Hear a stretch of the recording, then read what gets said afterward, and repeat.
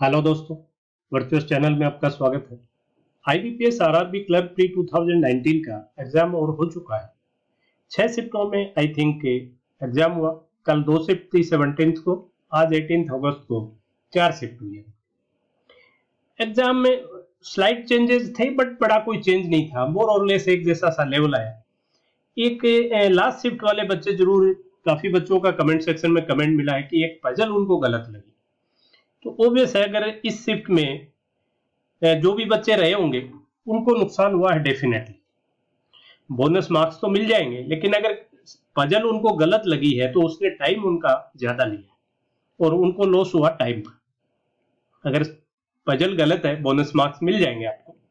But जो वो time लेके चलेगी, मान लो उसने पजल को निकालने में वो गलत है, उनको लगी है तो ओबियस उसने टाइम ज़्यादा खाया। अगर वो टाइम खाया तो उसका कोई मतलब नहीं निकला है आपका ओवरऑल फिर वो नुकसान।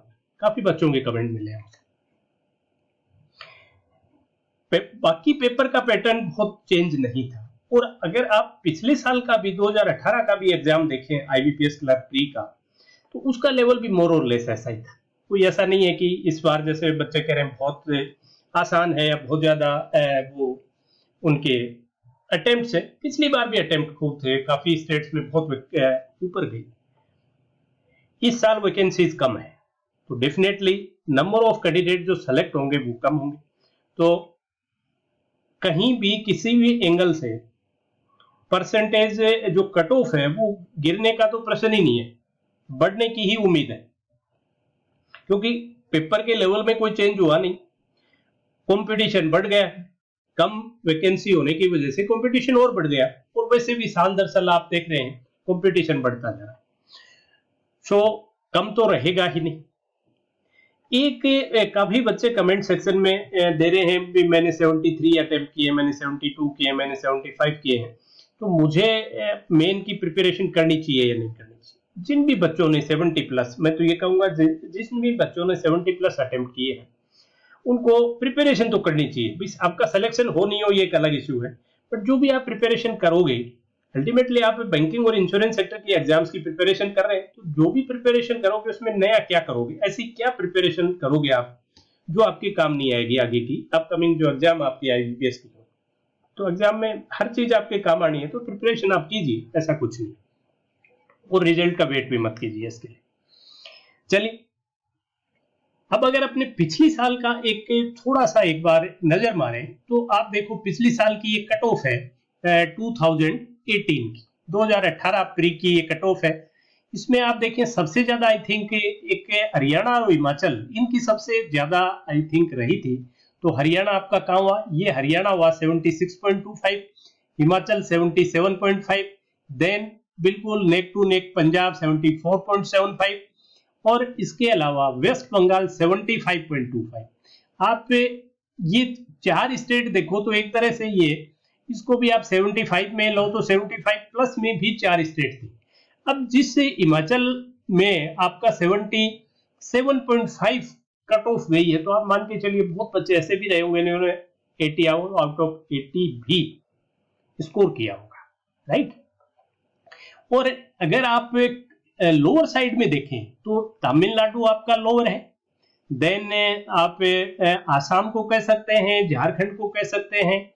कर्नाटक को कह सकते हैं, तेलंगाना को कह सकते हैं, महाराष्ट्र भी स्लाइटली लो है, छत्तीसगढ़ है, और त्रिपुरा नॉर्थ ईस्ट का तो प्रिडिक्शन बड़ा टफ है, गुजरात है, ये स्टेट्स आपको दिखेंगे लो लोअर जोन में, बाकी एवरेज जोन में। लेकिन, अब जैसे अपने इस साल का 2019 की अगर अपने चर्चा करें तो आप देखेंगे कि इसमें ज़्यादातर में वैकेंसीज डिक्रीज हुई।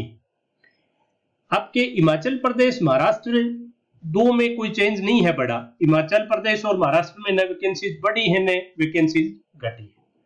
लेकिन और बाकी आप देखें तो बिहार में डिक्रीज हुई है, छत्तीसगढ़ में डिक्रीज हुई है, राजस्थान में डिक्रीज हुई है यूपी में अब नॉर्मल डिक्रीज हुई है, उत्तराखंड में डिक्रीज हुई है। झारखंड की आई थिंक शायद नीली रिपोर्ट हुई अभी तक।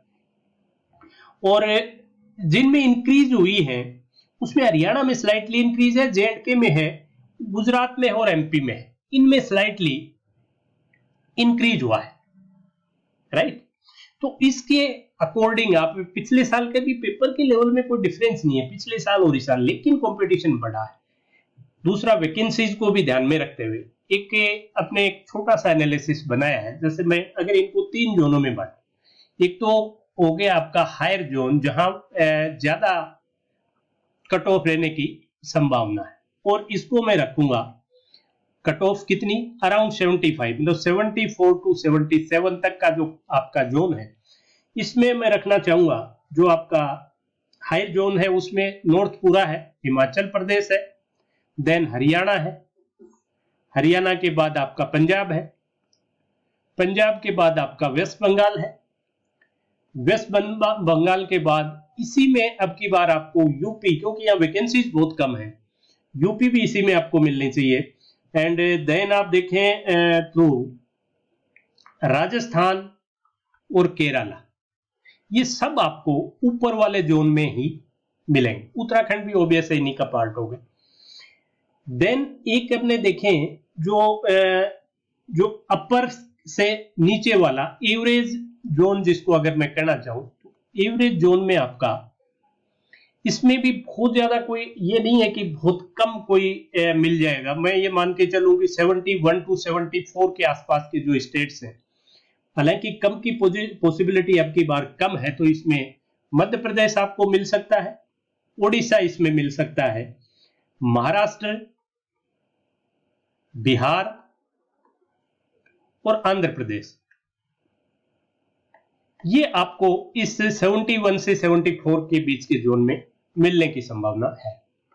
देन एक जो लोअर जोन है, जहाँ कम जाएगी जाने की संभावना है ना कि बहुत बड़े, अब की बात पेपर का लेवल के साथ ही वैकेंसीज रिड्यूस होगी और साथ ही कंपटीशन बहुत बढ़ गया तो अगर अपने इसमें लोअर साइड में देखें तो इसमें तमिलनाडु तमिलनाडु के बाद आप देखोगे कर्नाटक। हर बैंकिंग एग्ज़ाम में आप देखोगे तमिलनाडु, कर्नाटक देन गुजरात आसाम ये क्या इस तरह के और नॉर्थ ईस्ट ओबियस बट ये सब क्या नीचे की तरफ़ ही आपको मिलते हैं?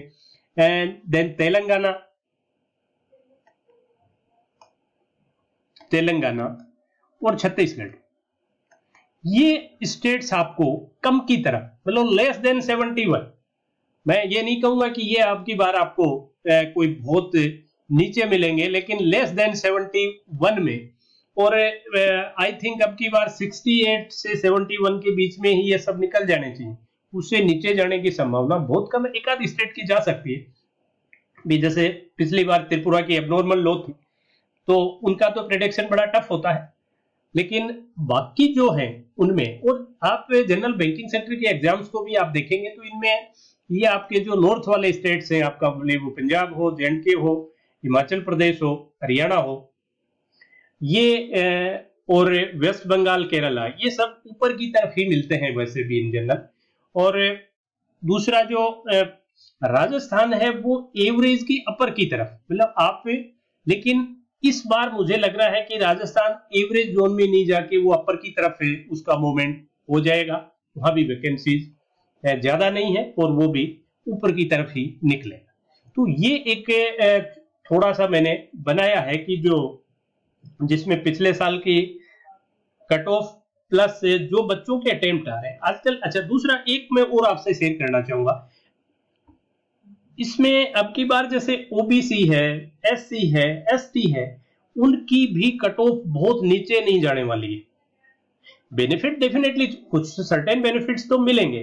जैसे ईडब्ल्यू e कैटेगरी है, कुछ स्टेट ऐसे हैं जहाँ ईडब्ल्यू e कैटेगरी का जहाँ अर्बन एरिया ज़्यादा है, वहाँ बड़ा टफ है वो उस फॉर्मेट में आना। तो वहाँ अब नॉर्मली डाउन चला ईडब्ल्यू एस कैटेगरी का बेनिफिट कई स्टेट्स में बहुत अच्छा मिलता है। जैसे दिल्ली है, दिल्ली में बहुत अच्छा मिलता है। और इवन राजस्थान में भी मैंने काफ़ी लोगों से मुझे ये इस तरह के कमेंट्स मिले हैं कि ईडब्ल्यू एस कैटेगरी का सर्टिफिकेट ही नहीं बन रहा। जो भी अधिकारी हैं, वो उसको लिंगर ऑन कर रहे हैं, बना नहीं रहे। तो ईडब्ल्यू एस कैटेगरी जो है, क्योंकि ईडब्ल्यू e कैटेगरी को आप इन डिटेल में अगर देखेंगे, और जो उसके क्रिटेरियाज हैं, उनमें फिट होना बहुत टफ है। कम लोग उसमें, अगर आप सही से वो बनाएँगे, पूरा देख के सर्वे करके तो उसमें ईडब्ल्यू एस में नहीं आते हैं। तो जिन बच्चों के पास ईडब्ल्यू एस कैटेगरी है आई थिंक वो ओबी से ओबीसी से मच मच बेटर रहने वाली है। राइट बाकी आप देखेंगे कि इसमें एस सी का भी कट ऑफ़ बहुत कम नहीं रहेगा। जब भी पेपर का लेवल एक ठीक लेवल का होता है, अगर पेपर टफ होता है तो एक गैप बहुत बढ़ जाता है। फिर जनरल और एस सी का गैप है, वो आपको बहुत बड़ा नज़र आएगा। जैसे ही पेपर का लेवल मॉडरेट होने लगेगा तो ये गैप रिड्यूस होता जाएगा। तो इस बार मैं कमेंट सेक्शन में काफ़ी बच्चों के एससी कैंडिडेट्स के ये कमेंट्स आ रहे हैं कि मैंने 73 अटेम्प्ट किए, मैंने 74 विद 100 परसेंट एक्यूरेसी तो मुझे मेंस के लिए प्रिपरेशन करनी चाहिए या नहीं करनी चाहिए? तो इससे आप अंदाज़ा लगाओ कि कैटेगरी में और जनरल में डिफरेंस रहेगा। मैं नहीं कह रहा नहीं रहेगा बट बड़ा नहीं रहेगा, क्योंकि पेपर का लेवल ऐसा नहीं था। सभी कर पा रहे थे पेपर को। लेकिन ईडब्ल्यू e कैटेगरी है। उसका कई स्टेट्स में अच्छा बेनिफिट मिलना चाहिए, क्योंकि ये ईडब्ल्यू एस कैटेगरी के सर्टिफिकेट काफ़ी जगह नहीं बन पा रहे राइट तो ये एक जाते जाते मैं एक चीज़ आप सभी से ज़रूर करना चाहूँगा कि बिल्कुल भी आपका 70 प्लस अटेम्प्ट जिन भी बच्चों के हैं, किसी भी स्टेट से हुआ मतलब सेवेंटी प्लस वाले जिसने seventy two three four five किए हैं, उनके उनको प्रिपेरेशन ज़रूर शुरू करनी चाहिए। कई बार क्यों लगता है आपको, बहुत बच्चों से सिली मिस्टेक्स भी हुई होंगी। जैसे फोर्थ शिफ्ट के बच्चे हैं और जो उसे एक रॉन्ग पजल जो बता रहे आप डेफिनेटली मान के चलिए कि उस अगर वो रॉन्ग पजल थी तो अटेम्प्ट डेफिनेटली गिरे हैं। वो क्योंकि उस पजल ने उनका टाइम लिया। एक दो स्लॉट आई थिंक आज सेकेंड या थर्ड में भी एक स्लॉट के बच्चों का कमेंट था कि क्वांट का पेपर कंपेरेटिवली लेंथी था पहले की शिफ्टों से। तो वहाँ भी अटेम्प्ट गिरे होंगे। हालाँकि नॉर्मलाइजेशन भी होगा सब कुछ होगा। लेकिन फिर भी ए, ऐसा नहीं है कि सभी स्टेट्स की कोई 77 या 78 कोई ये कट ऑफ़ जाएगी नीचे भी जाएगी। सो so, और प्रिपरेशन आप जो भी करेंगे शुरू तो उससे कोई लॉस आपका नहीं हो रहा है। इसलिए तैयारी ज़रूर कीजिए। That's all for today session have a nice